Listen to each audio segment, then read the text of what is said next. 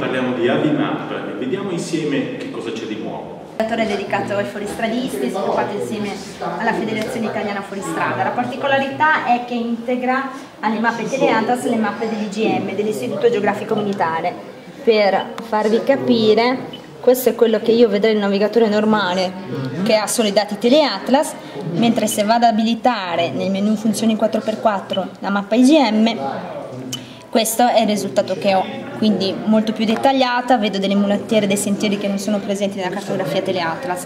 Ma non è solo questa la particolarità, sono proprio anche le funzioni software sviluppate appositamente per la navigazione fuori strada, ovvero per esempio la bussola a schermo intero, il navigatore normale esatto. non ce l'ha, di solito una piccola iconcina in un angolino, cioè questa è tutta un'altra cosa.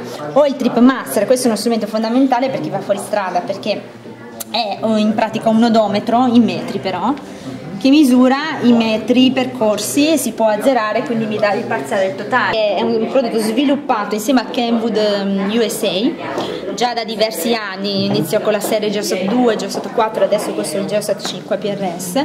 Il um, eh, GPS eh, comunica la posizione alla radio che trasmette alle altre radio e posso visualizzare sullo schermo quindi tutti eh, gli utenti che stanno trasmettendo. Questo è un nuovo mercato assolutamente e si tratta di agricoltura intelligente. Con questo sistema mi riesce a indicare quanto mi sto discostando dalle linee guida con una precisione di 20 cm. Alcuni trattori hanno questa barra spruzzatrice che può essere larga fino a 15 metri. Fino adesso il guidatore doveva regolarsi a occhio, quindi dovendo girare per il campo doveva più o meno regolarsi, ma era molto facile sbagliare, ovvero passare due volte sulla stessa tratto e quindi succedeva che un'area veniva fertilizzata due volte con conseguente mh, spreco, spreco, di materiale, ma non solo se si, ci si brucia proprio il certo. raccolto. Certo. Quindi questa è l'HP 1000, è la versione più professionale che tra l'altro è utilizzata da molte uh, forze dell'ordine, i reparti di volo di carabinieri, di polizia, vigili del fuoco. Il pilota privato non usa perché il pilota privato non può uh, andare di notte, mentre il militare sì. mentre questo è un po' il fratello minore del KP, il Joe Pilot, che è una versione molto più compatta, data a cockpit più ridotti come negli Aglianti o con gli elicotteri che non hanno molto spazio. E, ma il software, le funzioni software sono molto simili.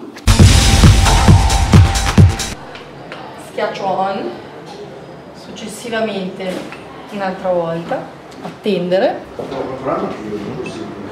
so, si inserisce la cannuccia e si soffre per 10 secondi.